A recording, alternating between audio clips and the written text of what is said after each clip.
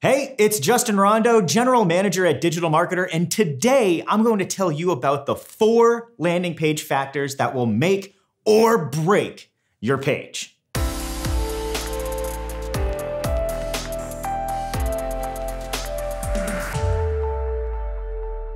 Number one, the offer.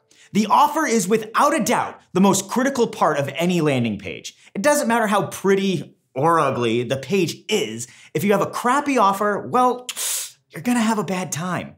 The offer breaks down into four critical points clarity, scent, relevance, and visualization.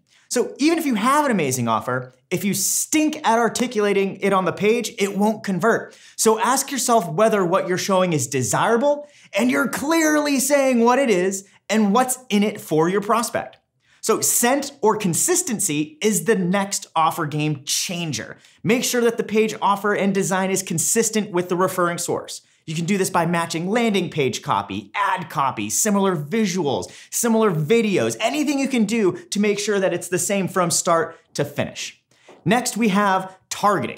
If your offer isn't relevant to the audience, then you just paid premium for a click that isn't going to do a thing. Make sure your targeting is on point you're consistent from the source, and you're crystal, crystal clear, and you'll see a conversion jump. Finally, visualization. You can't just rely on the text to sell. I know copy is king or whatever, but you need to be able to do this in different ways. You need to visualize the product, the features, and most importantly, the benefits, in addition to using persuasive copy. Number two, the ask, or your form or CTA on the page.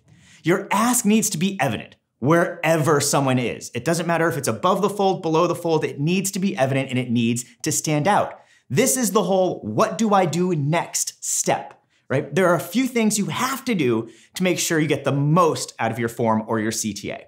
First, if you're using a lead gen form, make sure the length is consistent with the value of your offer. If it's an email newsletter, guess what? Ask for an email. If you're trying to get, you know, a, a software demo or anything like that, you're probably gonna need to ask for more information to qualify the lead.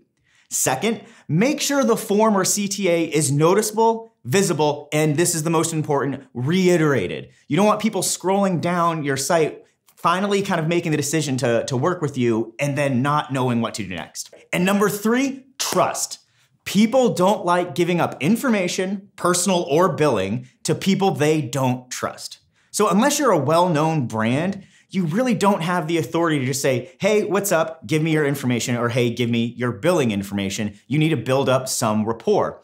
An easy way to do this is to have a professionally designed page. Now, I know, I know, I know, what's beautiful doesn't always convert, but it actually does help make sure people know that you're not some dude in a basement just trying to scam them. So, depending on the level of your ask, you want to have relevant trust icons. You don't want to be asking for someone's information and put something that's like McAfee secure. That's going to make them think they're going to be putting billing information in. So if you're asking for that type of personal information, use a privacy policy. If you're asking for billing information, use icons that people would actually expect to see then, right? So now you need to move to one of the best ways to get people to trust you is to show that people have used your product and loved it. The best way to do this is with authentic customer testimonials ratings, or reviews. Don't have stellar testimonials because you might be new. Or if you're in the B2B space, just share some logos with clients that have worked with you as long as they said they're okay with it. And number four, the visual hierarchy. I briefly talked about design in the trust section and about some design elements in the form and CTA section, but visual hierarchy is different because it's really about two things message sequencing and visual cues. Elements on a page are meant to articulate a message.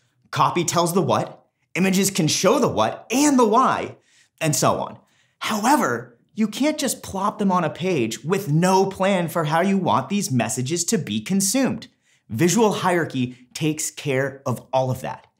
In general, you want to address the what, the why, and the what's next, or the ask, using several different types of form elements throughout the page. So you don't want to just use copy to do this, you want to use images to do this as well. Once you know how you want to articulate it, you need to choose when, right? So there's two things you have to be thinking of there. You can use visual cues to highlight key pieces of information, like when you take the most important content and have it in a light background so the eye is drawn to it. From there, you just need to make sure the page fits a singular theme. And most importantly, it has to, has to render well on all devices. If you're only building for mobile or you're only building for desktop, you're going to alienate your visitors. Don't just rely on responsive page themes either. Those solve a rendering problem, but do nothing to solve a sequencing problem. So to recap, if you want a high converting landing page, you're going to want to optimize your offer, what it is and how you articulate it, your ask, your trust factors, and your sequencing and page design. Now, if you want to dive deeper, I have a free gift for you to help you score your landing page that's available to all digital marketer insiders. If you're interested, there's a link in the description, and don't forget to like, share, subscribe. Oh, and let me know which element you think drives most conversions in the comments.